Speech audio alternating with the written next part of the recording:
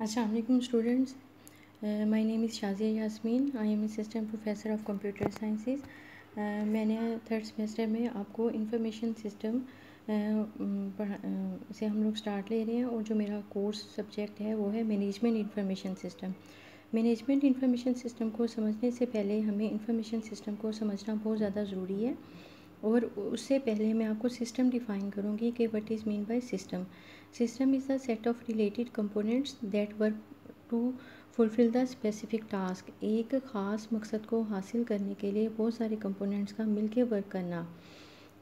To help in the operations and management of an organization उस organisation के क्या operations हैं, उसको किस तरह मैनेज करना है और उनके लिए वो सारे कंपोनेंट्स मिलके वर्क करेंगे तो आपके पास कंसेप्ट आएगा इंफॉर्मेशन सिस्टम का। और जब हम इंफॉर्मेशन सिस्टम को मैनेज करेंगे तो उसमें जो चीज़ यूज़ होगी वो है इंफॉर्मेशन टेक्नोलॉजी टेक्नोलॉजी का जब भी कंसेप्ट आए तो उसे मुराद है is the integration of the computer communication equipments and other technology use in the information system आप कंप्यूटर टेक्नोलॉजी यूज़ करें कम्युनिकेशन में आपके पास कंप्यूटर आ जाता है कम्युनिकेशन में आपको फॉर एग्जांपल इस वक्त जैसे आप नेट यूज़ करते हुए कम्युनिकेट कर रहे हैं और अदर अदर टेक्नोलॉजी है जो कि एक इंफॉर्मेशन को चलाने के लिए ज़रूरी है। ये है हमारे पास इंफॉर्मेशन सिस्टम अब components of an information system basic information system के क्या कंपोनेंट्स हैं? हार्डवेयर आपको पता है हार्डवेयर क्या है? The physical parts of the computer is called hardware जहाँ हम अपना डाटा स्टोर करेंगे। सॉफ्टवेयर इंस्ट्रक्शंस जो हमने उस मशीन को दे दी है डेटाबेस को मेंटेन करने के लिए। Store data facts stored in the system store data आपकी वही इंफॉर्मेशन है जो कि आप उसमें स्टोर करें और personal people who operate the system वो लोग जो कि सिस्टम को चला रहे हैं, वो कौन कौन से हैं? अभी हम आगे इसको डीपली देखते हैं। And procedures for the people to follow उस ऑर्गेनाइजेशन के क्या रूल्स एंड रेगुलेशन है उस सिस्टम को चलाने के लिए? वो किन रूल्स एंड रेगुलेशन रेगुलेशन को फॉलो करते हैं? वो आपके पास प्रोसीजर आ जाता है। इन सारी चीज़ों को लेके आएँ तो अब हम इंफॉर्मेशन सिस्टम की एक्यूरेट डेफिनेशन देखते हैं। And information system is an organization organized combination of people hardware software communication network and data resources that collects transforms and information in an organization अब आपके पास क्या है? किसी भी इंफॉर्मेशन सिस्टम में जो मोस्ट इंपॉर्टेंट चार कंपोनेंट्स होते हैं people hardware, software communication network और डेटा उसको, इन सबको हम इंटीग्रेट करें तो हमारे पास एक्चुअल डेफिनेशन किसी चीज़ की बन जाती है इंफॉर्मेशन सिस्टम की. अभी हमने हार्डवेयर भी मैंने आपको बता दी, सॉफ्टवेयर भी बता दी, आगे हम कम्युनिकेशन नेटवर्क भी देख लेते हैं.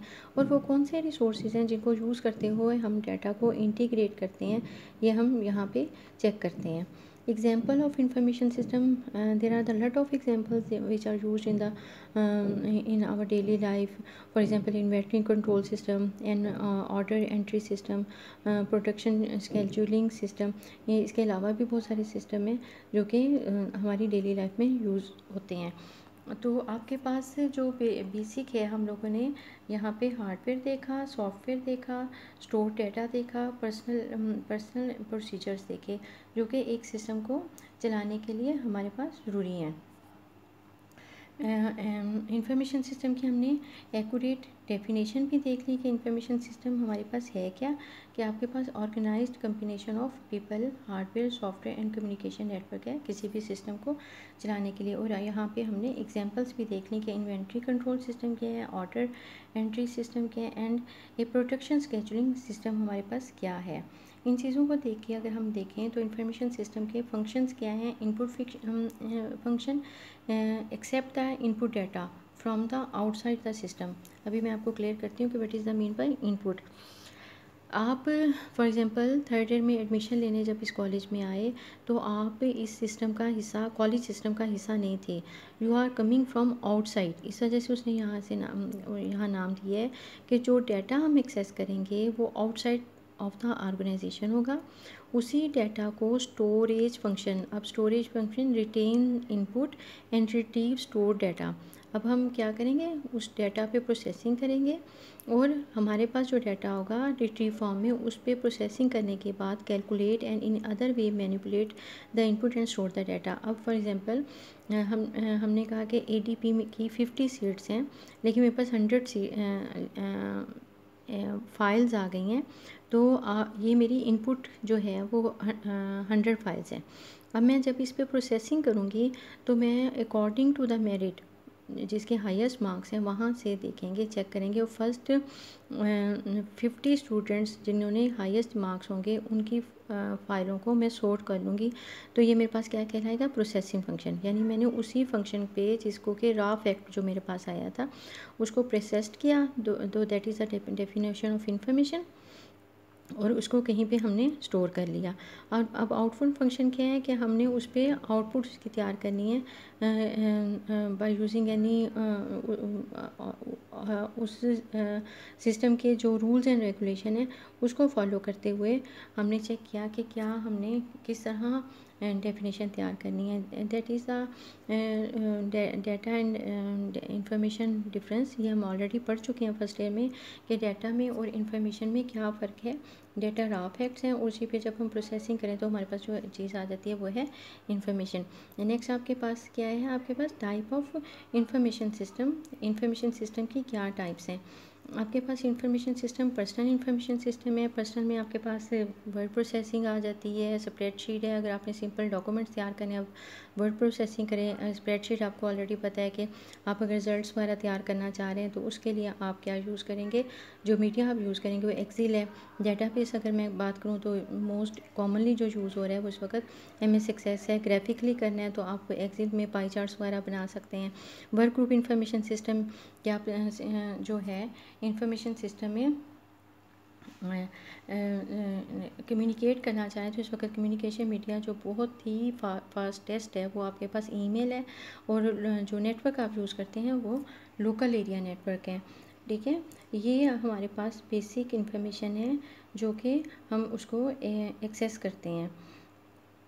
अब टाइप ऑफ़ इंफॉर्मेशन सिस्टम में ऑर्गेनाइजेशनल इंफॉर्मेशन सिस्टम इसमें मोस्ट इंपॉर्टेंट आपके पास मैन है वैन या ये वाला मीडिया यूज़ करते हुए हम सिस्टम को रन करते हैं। और यहाँ पे अब हम चेक कर लेते हैं कि टाइप ऑफ़ इंफॉर्मेशन सिस्टम क्या है। इंफॉर्मेशन सिस्टम की टाइप ट्रांजैक्शन प्रोसेसिंग सिस्टम है। ट्रांजैक्शन प्रोसेसिंग सिस्टम में हम चेक करते हैं कि वो ट्रांजेक्शन जो कि डेली बेस पे मेंटेन की जाती हैं, वो आपके पास ट्रांजेक्शन प्रोसेसिंग सिस्टम्स होते हैं। और लेवल मैंने अभी आपको बताया है इनपुट प्रोसेस हम इनपुट देंगे प्रोसेसिंग होगी आउटपुट आएगी और यूज़र उस आउटपुट को यूज़ करेंगे। एक ये हमारे पास चार्ट बन जाता है सिंपल जो कि एक that is the definition of computer ये कंप्यूटर की डेफिनेशन भी है। ये हमारे पास यहाँ पे जो इंफॉर्मेशन आई, उस पर हमने प्रोसेसिंग किस तरह परफॉर्म करनी है। उसके बाद आपके पास आ जाता है management information system management information system में हम जो चीज़ चेक करेंगे, वो है कि आप सिस्टम को किस तरह मैनेज करें serve middle management system provide report on the firm कि आप सिस्टम को मैनेज करें और उसके लिए आपको जितनी भी इंफॉर्मेशन की ज़रूरत हो, आप उसको प्रोवाइड करें तो ये आपके पास मैनेजियल एक्टिविटीज़ कहलाती हैं. उसके बाद नॉलेज है मैनेजमेंट सिस्टम का कि आप उस, उसमें उसे क्रिएट करें डाटा को उसे एक्सेस करें। एक्सेस करने के बाद हम उसको रिट्रीव करते हैं और उसके बाद हमें डाटा का नॉलेज हो जाता है। इंफॉर्मेशन सिस्टम के यूज़र्स क्या हैं? जो कि बिज़नेस में यूज़ होते हैं यूज़र डायरेक्टली डाटा को एक्सेस कर सकते हैं और इनडायरेक्टली भी एक्सेस कर सकते हैं। Connecting the user to information system जो नेटवर्क यूज़ हो रहे हैं उस वक्त वो हमारे पास है लैन मैं पहले भी बता चुकी हूँ। लैन एक स्मॉल नेटवर्क है और अगर आप उसे within the city extend करना चाह रहे हैं रीजन में करना चाह रहे हैं कंट्री या सेवल कंट्रीज़ में करना चाह रहे हैं तो आपके पास एग्ज़ाम्पल आ जाएगी वैन की। इसी में उसने एग्जांपल आपको इंटरनेट और वर्ल्ड वाइड वेब की दी है, जो कि हम लोगों ने डिटेल में पढ़ा हुआ है। Benefit of information system better information है इम्प्रूव किया जाता है सर्विसेज़ को इंक्रीज़ की जाती है हमारे पास प्रोडक्टिविटी कि हम अपनी प्रोडक्टिविटी को किस तरह इंक्रीज़ कर सकते हैं। और यहाँ पे जो मोस्ट इंपॉर्टेंट चीज़ आ जाती है वो ये है कि बाहर की दुनिया के साथ आपका कितना जो है कंपटीशन इन्वायरमेंट क्रिएट होता है सिस्टम को चलाने के लिए सिस्टम की इम्प्रूवमेंट के लिए। फॉर एग्ज़ाम्पल हम ये वाला काम करते हैं ये भी फॉर एग्ज़ाम्पल हमारे कॉलेज ने अभी ऑनलाइन काम नहीं शुरू किया दूसरे कॉलेजेस ने कर लिया तो एक कंपटीशन राइज हो जाता है। हमें उस कंपटीशन को फेस करना पड़ता है और उसी लेवल पे अपने आप को रखना पड़ता है जो कि एक इंफॉर्मेशन सिस्टम के लिए ज़रूरी है। ये बेसिक हम, हम लोगों ने आज पढ़ा है कि सिस्टम है क्या सिस्टम की एक्टिविटीज़ क्या हैं और हम एक इंफॉर्मेशन सिस्टम को क्या करेंगे। आज मैंने सिर्फ़ आपको इन्फॉर्मेशन सिस्टम को समझाने की कोशिश की है। कल हम डीपली मैनेजमेंट इन्फॉर्मेशन सिस्टम जो आपका सब्जेक्ट है कोर्स कोड नेम है, उसको मैं आपको डिटेल में बताऊँगी। आज सिर्फ़ आप लोगों ने फ़र्स्ट ईयर और सेकेंड ईयर की डेटा बेस को थोड़ा सा देखा जाए तो टच की है और ये थोड़ा सा इंट्रो था इसका। तो नेक्स्ट टाइम इंशाल्लाह कल हम इस, इसी चीज़ को कंटिन्यू करेंगे।